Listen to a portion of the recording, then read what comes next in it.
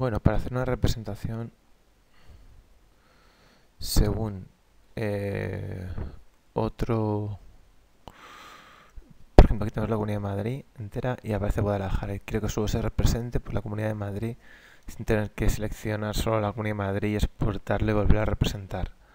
¿Cómo hacer esto? Simplemente aquí en Propiedades, en Data Frame, en vez de ser automático podemos fijarlo, extenderlo y demás, pero existe eh, una extensión ¿no? que puedes especificar con opciones de clip to shape o cosas así. Vamos a eh, especificar eh, la zona de extensión, que no es toda la cartografía, sino solo una zona, y la zona va a ser el límite de la Comunidad de Madrid, y lo aplicamos. Le damos a aplicar, y ahora, viendo un poquito el mapa,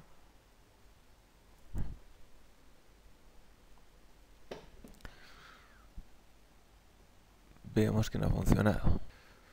Vale, para hacer eso nos tenemos hacerlo bien aquí en Clip Options.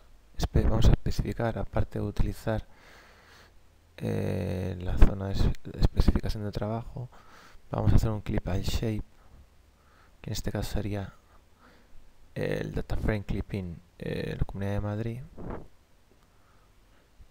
Y vamos a y vemos como ahora solamente aparece la Comunidad de Madrid representada, por tanto es lo que estaba buscando. Esto es, todo está en los data frame properties, donde bueno se puede especificar, puedes meterle bordes y demás, aparte de todas las demás opciones que tiene.